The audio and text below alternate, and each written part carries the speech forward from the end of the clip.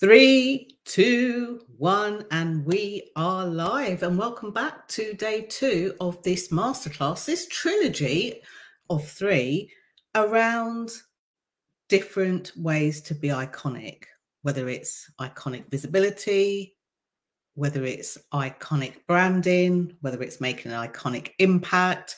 Maybe you would like your offers or what you are inviting people into to be a little bit more iconic. So today is day two. I have my timer here, other words known as my phone. I have my notes here. There you go. Um, I literally do these unscripted, but I prepare and I I also have some notes today to share because I want to share some kind of like stats and figures with you. But today we are going to be talking about what they don't know that you do. No, this is not a conspiracy theory. This is the secret sauce of the underpinning of sales and marketing. And this is especially for you if you run a business, you founded a business, you co own a business, maybe you're the only person in your business, maybe you consider yourself a small business. Either way, your mission is big and your plan is to be huge.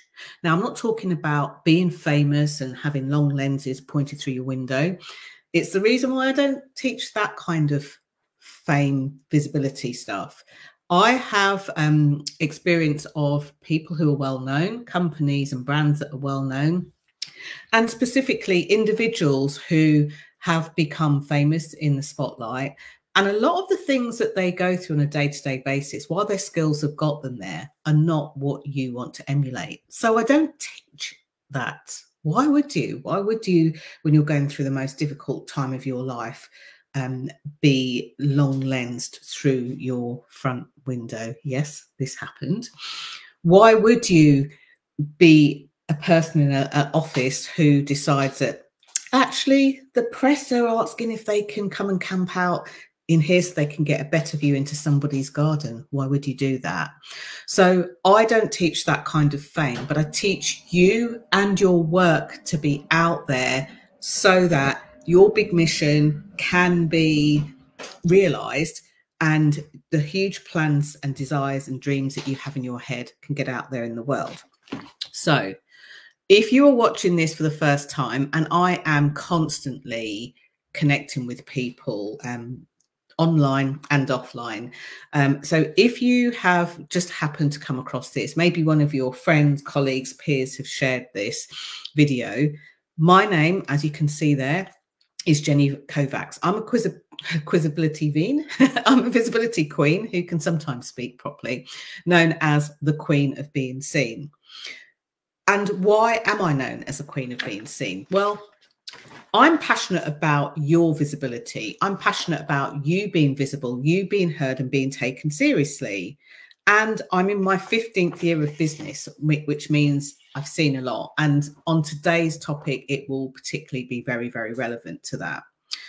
But your voice matters. You having your work seen, your voice being heard, whether you do it from a page, a stage, or a screen, and you getting the recognition. And this again means that yes, you get recognized as a person for your work. And people that I've worked with have had MBEs um, or have gone on to have MBEs. And by the way, I don't get you an MBE. They do it through their work, through putting themselves out there, through being visible. And some of them already had them before they, long before they met me. Um, getting the recognition is as simple as this, I, I would say. Um, for the people that I've coached, the companies and the brands that I've worked with over the last 15 years, here's the bit that's most important. You share the stuff that you love, the transformations that you provide people, the things that you want to see differently in the world, and they like they they drink it up they absorb it almost by osmosis. They inhale what you're sharing. It's that that has you feel recognized and it's that kind of iconic visibility that i talk about in here. And of course it helps you to be able to sell your services to um, for people to purchase your products and for you to have your mission out there in the world in a way that sells, not just, oh, I've done a thousand videos now. How great am I? Look at me. So, with that to say, um, what we're going to talk about today, what we're going to talk about today, um, we're going to talk about in this masterclass iconic brands and what they actually look like in 2024 and beyond into 2025. I could have done this on my predictions, but I'll save that for another video that I'll probably put out online on YouTube, on Facebook, on Instagram. Um, we we our aim today is to talk about or have your brand talked about. Now it's all well and good looking at the Googles of the world, looking at the you know Facebook Meta, the the well-known people out there in the world. But actually, there are a lot of brands out there doing a lot of incredible things that aren't necessarily known. And this will help you kind of see the balance of the fame side of it um, versus the getting your work out there and getting your work known. So let me just make sure. Um, yeah, let me start with this.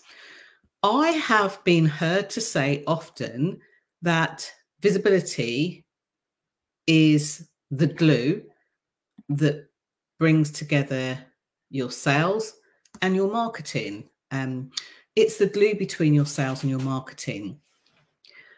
But there's a slight problem with me saying that. And the problem is that, according to research, small businesses are often struggling to effectively market their goods, their products, their services. Um, and that was in a, a, report from Constant Contact. And if you're thinking, who on earth are Constant Contact? They get a lot of information behind the scenes because they are um, one of the world's most known email providers for entrepreneurial type businesses, freelancers. So if you've got an email list, yes, you might use MailChimp or um, Infusionsoft or Keap as it now is. Um, but you might also use Constant Contact. And by the way, there's lots, lots and lots of different um, people that you can use. And what they realized was that a lot of small businesses have a problem with how they market. So let's start from there. If visibility, especially iconic visibility, is the glue between your sales and marketing, um, and you haven't quite sussed out your sales and marketing, um, which is quite common for people that have even when they've been in business for years, especially when they've been making money. I've been going for 15 years and I'm still here. I always think there's a lot that I can do with my sales and my marketing.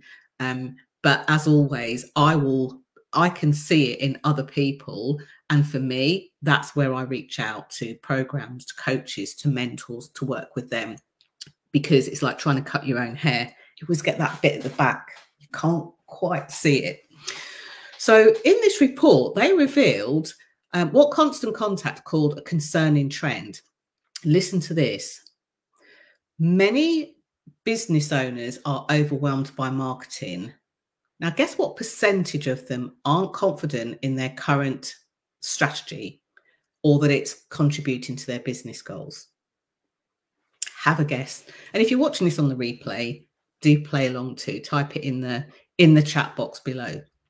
So the number of small business owners who are overwhelmed by marketing and aren't confident that their current strategy is contributing to their business goals is 73%. That's nearly three quarters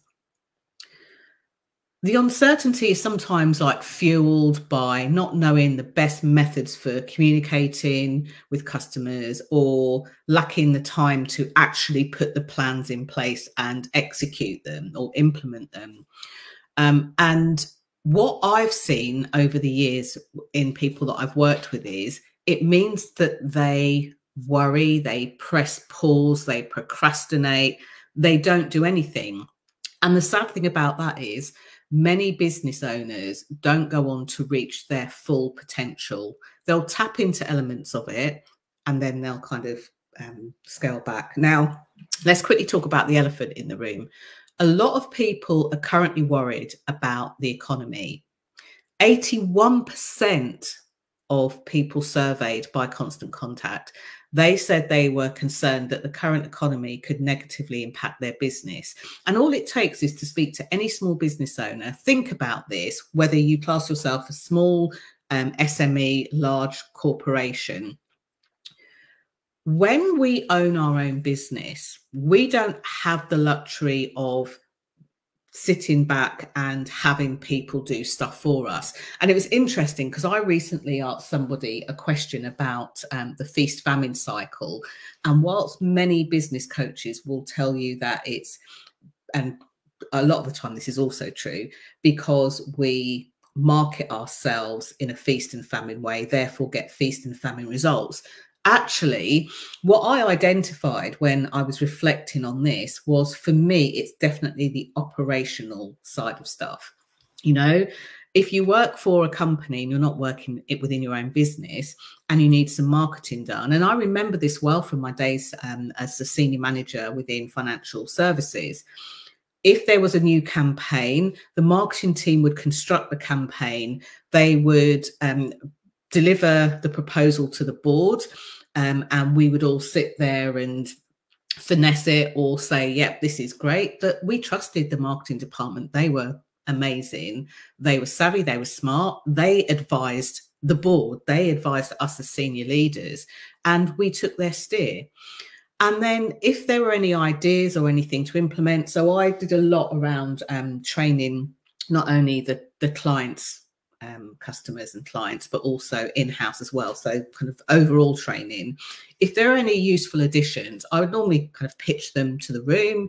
Um, thankfully, the board, who were amazing, um, were always very, I don't even want to say supportive because that feels patronizing, but um, were really kind of cutting edge in taking knowledge from where it came from.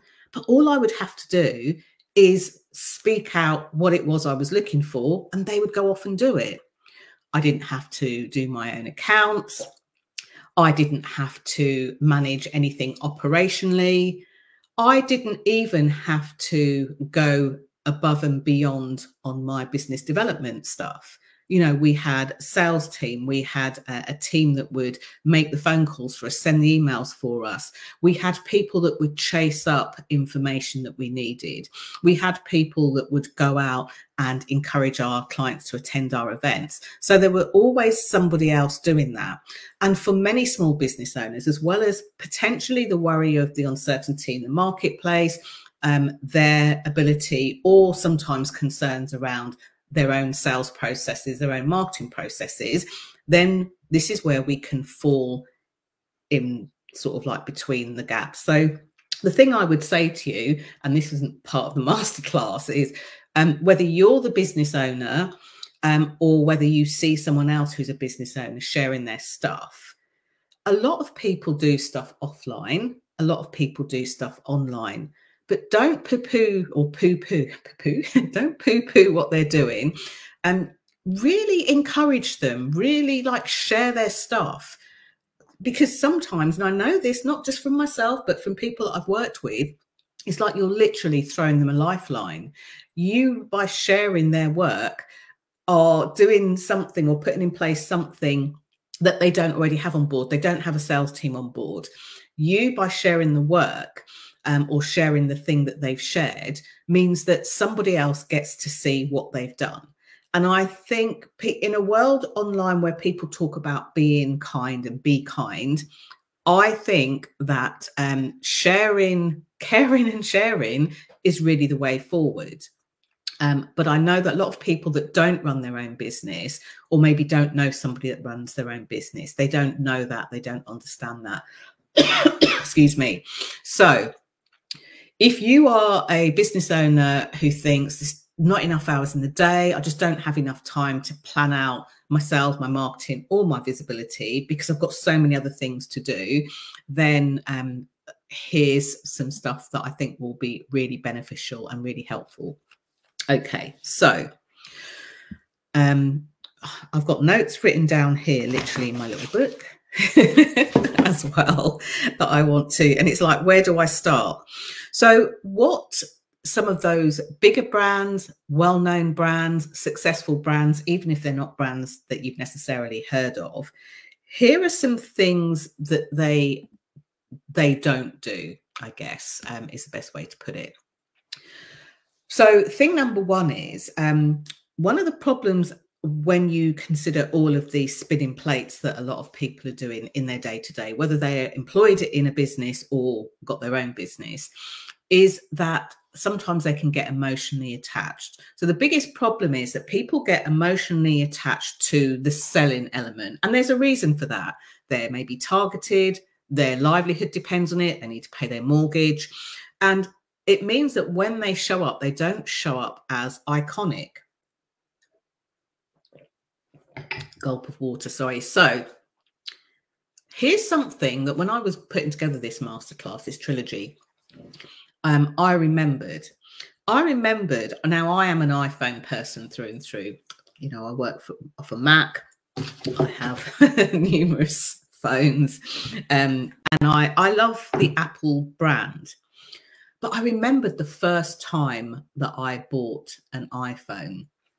So let me take you back to the emotional attachment or, you know, attachment from or detachment um, from when we are being iconically visible.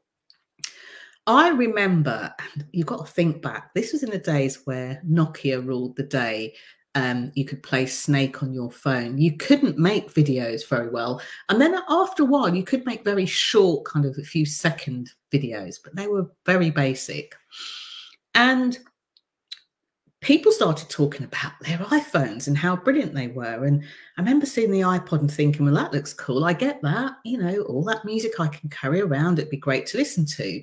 But I really don't get why anyone needs a phone that's like an iPod that's a bit bigger and does everything on it. I get that it's handy and, and everything else, but I just don't get it. I wasn't an early adopter.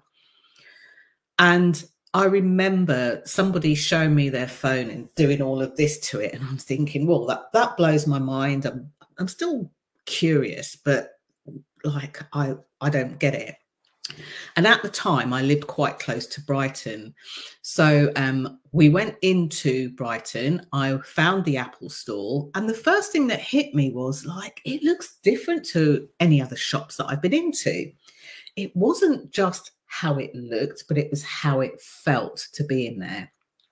And then I remember seeing these phones with a bit of string attached to them. So obviously they weren't stolen. And I remember thinking, well, it's it's really the iPod I want. So let me hit music. So I hit the music thing and found some music. And I'd heard something on the radio in the car just as I was kind of driving in. So I thought, I'm going to find this. I really liked it. And I listened to it the phone felt great. So, why am I telling you this story? Because in that moment, that's the moment that my emotions were triggered.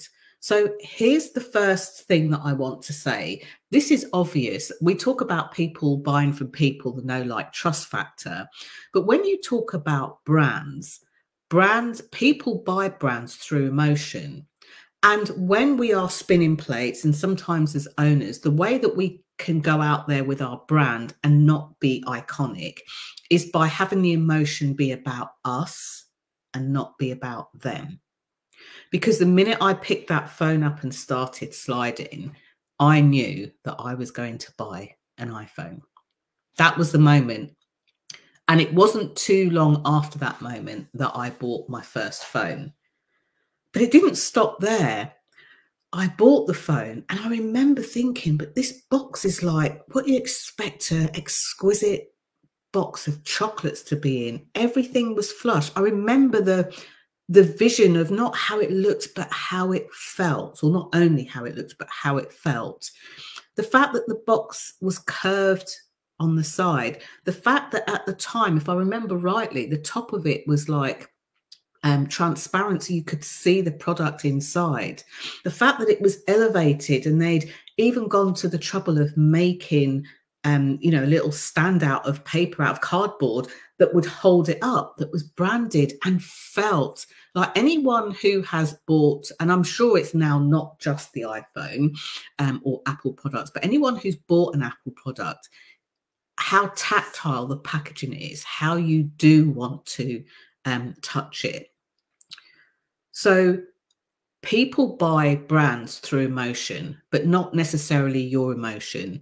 So one of the things that you're going to see a lot more in 2025 and that has been even more effective this year and especially post pandemic is evoking emotions in your clients in an iconic way. It's no longer about you. It's no longer about your emotion. It's no longer about your pity story it's about being able to metaphorically um, transmit and show emotion through what you sell now, I've probably made that sound like a, oh my gosh, how do I do that? And that's why um, I'm going to be speaking to you in a little bit about Iconic, um, the program, for want of a better um, expression, and how we'll do that through there.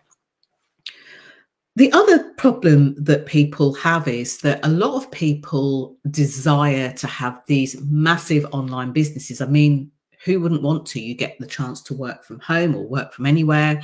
You get the opportunity to look after, could be caring responsibilities, children, could be your own health, it could be your own mental health, um, and you get to set the parameters and boundaries there.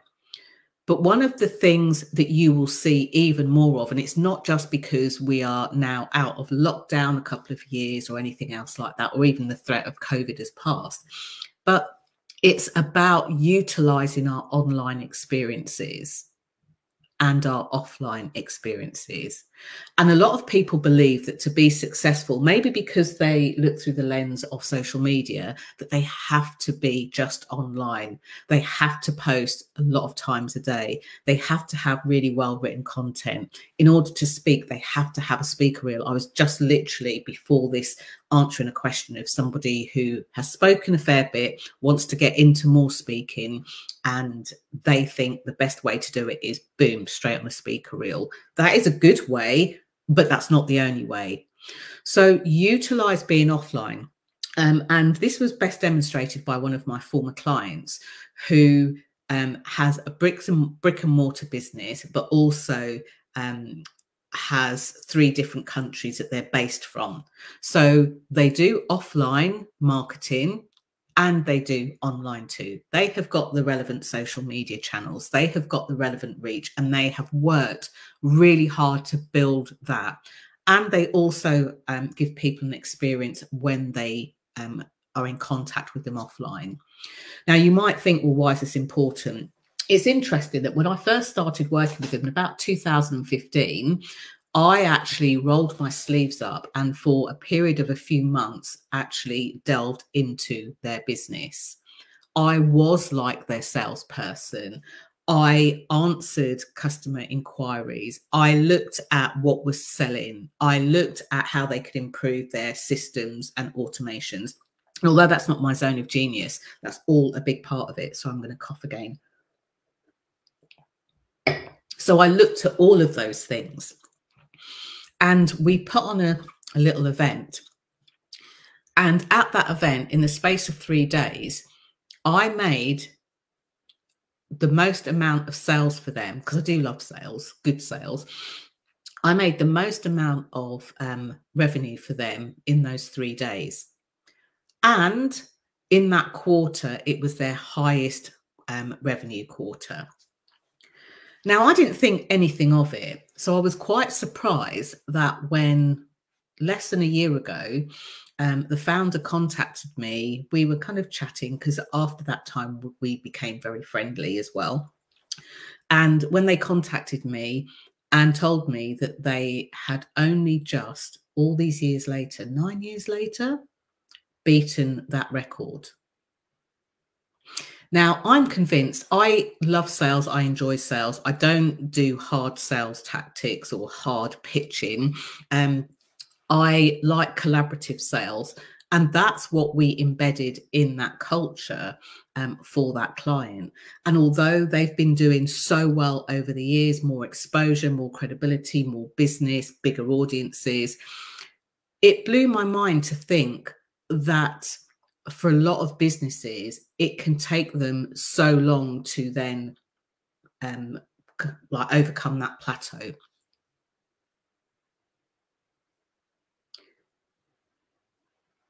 Remember that it's not just about being online.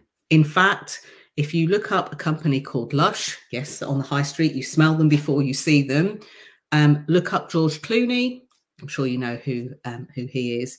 Um, and also, if you are on X or Twitter, have a look at how many posts Apple actually posts on there. I'm no longer on Twitter, so up until probably about six months ago when I was, you'll notice I don't hardly post anything. Online is a great tool to reach more people, but it depends on what you do. And if you want to share your stuff and be iconic, it's really, really important to know um, the parameters of what to do and how to do it. I want to share, I've got one, two, three, four, five, six, seven, eight, nine, nine things altogether. I want to share them. But before I go on and just share those insights with you, I want to talk about Iconic, the program. So, Iconic officially starts next Monday, so not long away now. Um, an Iconic is a way for your brand to become iconic. We'll talk about the myths around personal branding and the things that will move you forward. We'll talk about how to create clear, iconic offers, the sorts of offers that you can get behind, that your energy and your whole psyche is wanting to put out there in the world, whether it's online or offline. I've worked with the most unusual businesses too. So, coaches, consultants, you're welcome. Bricks and mortar businesses, you're welcome too. I've worked with people who've worked with animals. I've worked with spiritual businesses. I've worked with people who retail one off um, items. I've worked with people at director level who have founded companies, sold on companies. I've even worked with professional associations so that their members can go out there, everything from financial services to travel um, to marketing to um, marine engineering to compliance. So I have yet to find something that this can't be molded to. I want you to be able to make an iconic impact, iconic visibility, and to be able to know the frameworks that suit your business and you. There's no point me giving you a cookie cutter approach that you have to do A, B, and C, and then it'll be done. I want you to be able to put your work out there even if you're a brand that's well known in your industry or in your area, um, but not necessarily known internationally, you can absolutely um, do that. So we will be going through 10 um, modules which I train out live. And in those um, modules, we will be covering branding, offers, content, sharing, impact, visibility, and the frameworks, and also um, how to be iconically accountable as well, which is an important thing. Otherwise, nothing gets implemented. We'll be doing those in live group calls. This will be a small group. I only want to work with five people, and here's why. Over those 10 modules, which you'll get around two a week, um, so this program is kind of like a five week program in the whole time that you are that you're working with me and we're working together this will be a hybrid of a group program where we teach these modules and if you can't make the modules you'll get the recordings of those that you can listen to again and again and again. And in between that you can book a private call with me so, apart from the first call, a 30 minute call with me. So, if you wanted to, after each module, you could book a private call so that we can embed and make sure that it's suitable for you, your audience, your business type, your credibility, and what you do in a way that feels iconic and good to you and good to the people you're serving. This is not a program to pretend you're something you're not. This is not a program of boast post. This is not a program for you to do as I say and not as I do. This is something that will have you stand out in the way that you want to stand out to the people that you want to stand out to, in a way that feels aligned and in integrity to you. This program, um, once it starts, is £995. However, if you decide that you would like to um, sign up and register before this, um, there's 50% off it. So it works out, I've worked it out to be roughly £495. Okay, so if that's um, something that you know that you would like to jump into, send me a message with the word iconic, um, and I can send you the link to get you booked on, send you the schedule, send you the group where um, all the, the stuff happens. I'm keeping this to a small group because to work with this deeply with five businesses in this way um, takes a lot. It takes a lot. And as we work together, I will be working alongside you. This is why it's a hybrid program. It's a hybrid of group and um, personal program too, private program. If you're looking at this and thinking, I don't really know whether this is for me or not, can I have a quick word with you? Then send me um, a message and and literally say, iconic, can can I speak to you? Um, let me know what about what you do is iconic or what you think about what you do is iconic and what might stop you. Now, if you are part of the high impact visibility um, club, then I have been running some of the old um, masterclasses from the iconic that I did in March this year and that pricing applies to you. The only thing to, to know is that I won't take more than the allocated people, the allotted people, because it, I, I want to be able to serve you well. That's part of my iconic brand. I like to look after the people that I've got in, in my sphere. So, very quickly before I go back and just share the final bits of that, what will we be doing? We'll be talking about iconic branding, the sort of branding that you can do from where you are in a way that has people find you, seek you out, um, and has you really portray what you do. Um, and on this, we talk a little bit about non-verbal stuff as well. Iconic offers so that you can make invitations and offers to people. And I'm not just talking about coaching, um, but you can make the kind of offers that if it's right for somebody that they will lean into, they'll be intrigued by, they'll want to know more about. Um, and if it's not right, you'll have the confidence and credibility to say this is not right for you because without shaming them, without judging them, and quite often my clients tell me that they're able to offer something more suitable instead. And in my experience, if I'm not able to help you with something that you come to me for, I will point you in the direction of peers, of other people's work, of books, of other things too. So being able to iconically offer your services has people remember you. And I get so many people referred to me through that alone. Iconic content. A lot of the time we hear lots of different things about sharing our content and putting it out there. And people put a lot of pressure to type their their post without any typos. That's not actually what makes you iconic or not. People then feel pressured to get it right on video. They don't know what to say. They don't know how to sell or share their services on there. That's not what makes you iconic. What makes you iconic is your ability to share the sort of relevant content that is tied to the things that you do the message that you share the services that you provide the products that you sell. And not many people know how to do this succinctly they think of it as a big, long program. Remember that statistic the 73% of people basically they procrastinate on it, they don't have time, they stop themselves, and they do that because they literally don't know what to do next. And I've seen this happen in bigger companies where marketing have got one strategy, the board have got another strategy, and everyone's kind of bumping up against each other and going in different directions. So let's make the content you share easy. Let's make it relevant to your brand, relevant to your offers, and iconic in a way that people really see, hear, and feel.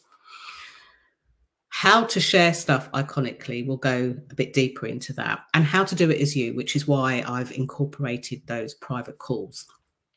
Now, iconic impact sometimes we want to make an impact sometimes it's the impression we want to leave and this is not people pleasing this is um, a way to really make a lasting impact on the people that you've always desired to do whether they work with you initially, whether they're looking at what you're sharing, whether they have got you on their vision board, whether they're looking to, to work with you. Iconic visibility. Iconic visibility um, isn't about being famous, as I said at the start of, of this um, masterclass.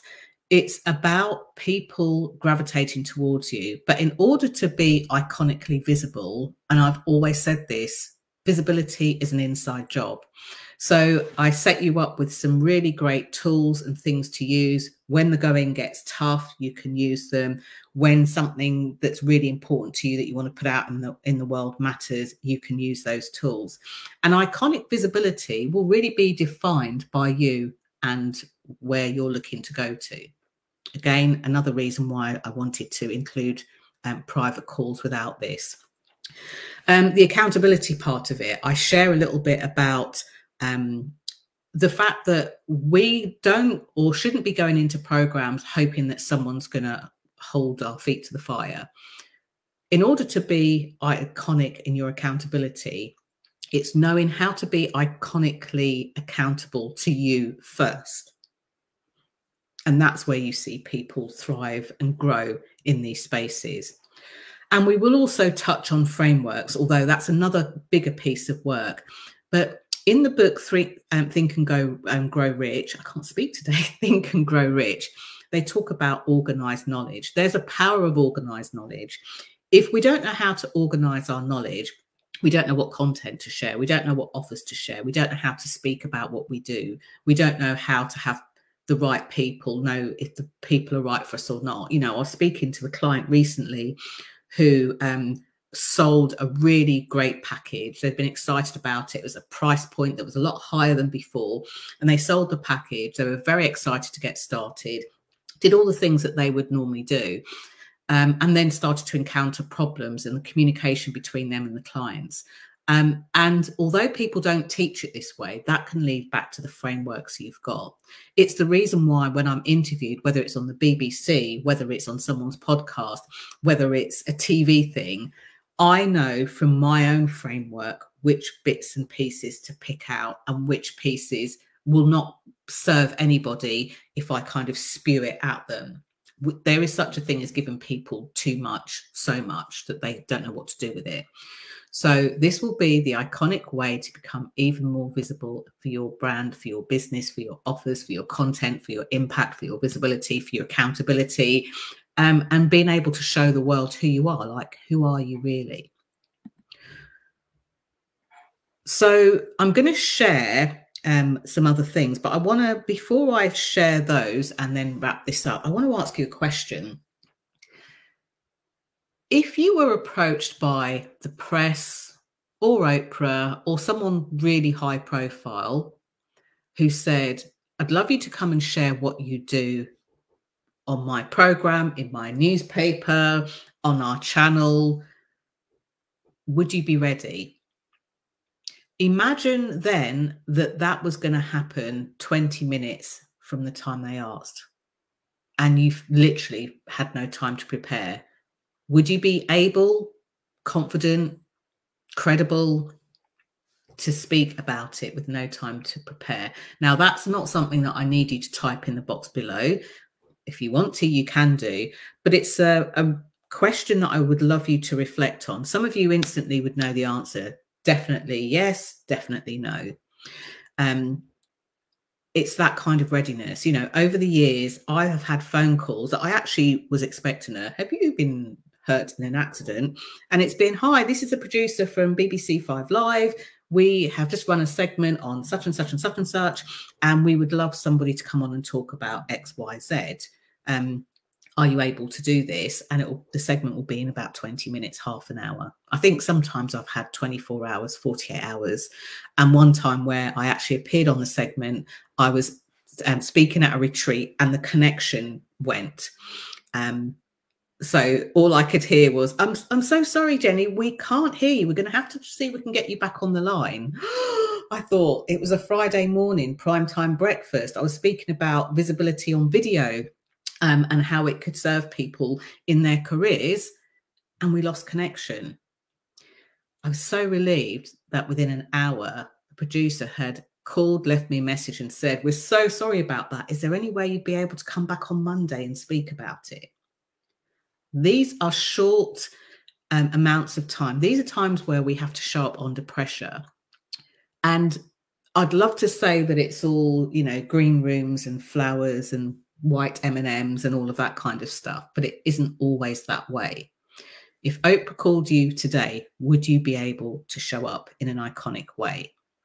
So some of the stuff that we cover in um, Iconic Impact we'll talk about what you do. What did I do when I had half an hour to get ready for a TV interview on the BBC, talking about a topic actually that wasn't my area of expertise. I knew that I could lean into the non-verbals um, as well as what I spoke about and what I shared to give myself that credibility. And we'll talk all about that in um, one of the iconic modules too. So I've already told you about iconic. So let me cover some more of these things to think about um, when you are looking um, to be more iconic. Think of them as uncovering any problems, concerns, worries, or struggles, and then look at, well, what would need to happen for me to feel great with that? So I'm better off probably reading my typing because reading my writing, I can't stretch it out. so do you know how to position yourself in terms of color psychology? I feel like I want to leave that there. There are certain colours that pop, and the clues, of course, have been in the graphics for for um, these masterclasses, which have looked nothing like the iconic graphics, but use the same sort of concepts. And the reason that I share that kind of dichotomy is because I want to show that there is a range. It's not just one thing that you do, one type of color that you share, and then that's it. Um, people often look at their branding or their brand colors, so they'll wear those colors and, and things like that. But you can find more effective ways to go deeper. One of the things that lets me know that people are struggling with being iconic is when they copy somebody else. Now, this isn't about, this isn't going to be a rant about plagiarism, but here's why I feel uncomfortable with this. When we copy somebody else, we bury a little bit, we cover a little bit of who we are and what we do. And it means that the world doesn't get to see you. So you don't become iconic. Now, it's interesting because for years I worked with a mentor and I will always um, name this mentor um, as well as many other people that I've worked with, I'll always give them credit where credit's due. So if there is something that somebody has taught you, then name them. That's okay. Add your insights to it, put your spin on it. But when you put your spin on somebody else's work and try to make it your own, it actually hides fractions of you and fragments of you. So people pick it up in your energy. They're like, mm, I like what that person shares, but I don't quite get it. I don't quite understand. So, position your work, position your offers, but give credit where credit's due. Don't copy, don't plagiarize, don't try and pass off somebody else's work. This is the way that you become visible, but not iconically, and often visible in the wrong type of way. One of the problems that people have is they don't know how to put together their best offers. And this is why I would wholeheartedly recommend, even if you've been in programs for years, people go, Oh, that's it. I've spent enough. I'm not spending any more money on programs. Well, we are always learning, always evolving. And all you're doing is starving yourself from the very thing that you perhaps really need to do. And one of the things that comes up the most around offers is the pricing piece. And it's the reason why in Iconic, when we go through the offer component, I go through the six key things. And one of them is, well, how much is an offer?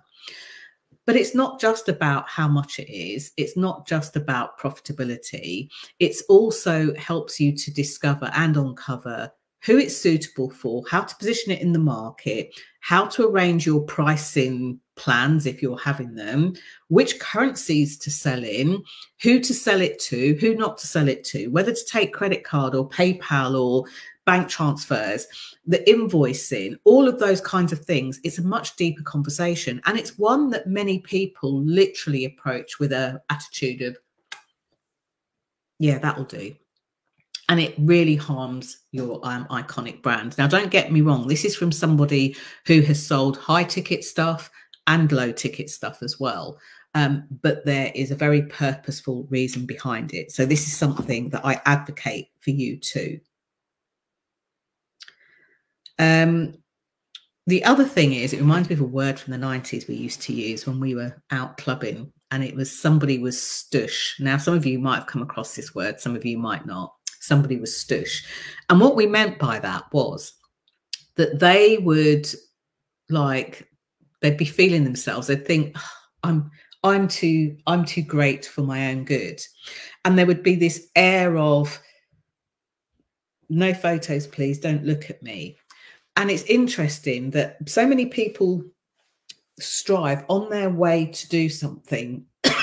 people in the, over time have attempted to pick my brains on, well, I really want to get into speaking, or I really want to do better videos, or I don't seem to be selling very well. What can I do?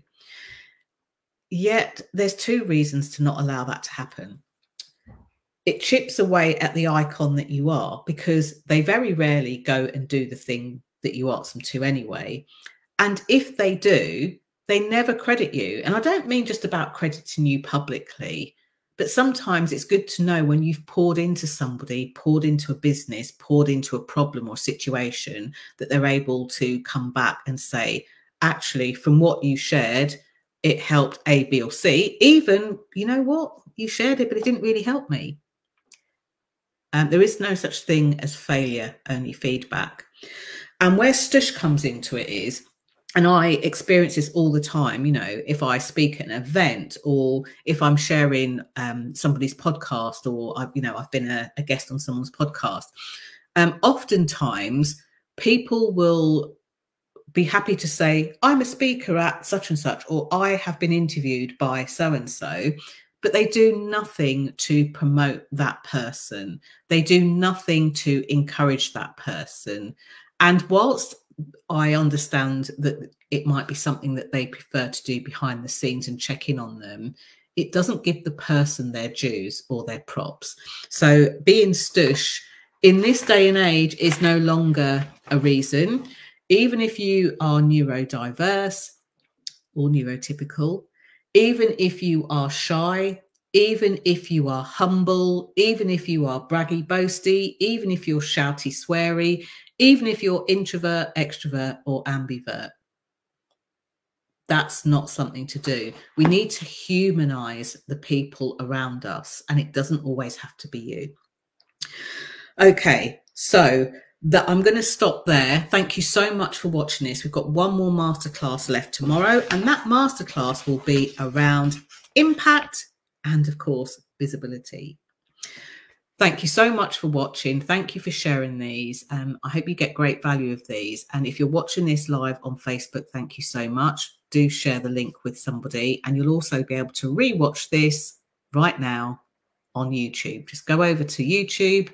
If you're not already subscribed to me, search at Jenny Kovacs, click subscribe, and you'll be able to see all the other juicy stuff, including part one that I shared yesterday, too. That's it. Thank you so much. And if you want to know more about Iconic, send me a message with Iconic. Um, and if you want to discuss more, let me know. If you'd like the link to book it at the 50% off rate, which is nuts. Like, this is not a sensible price for this program at all. It should be 10 times this amount.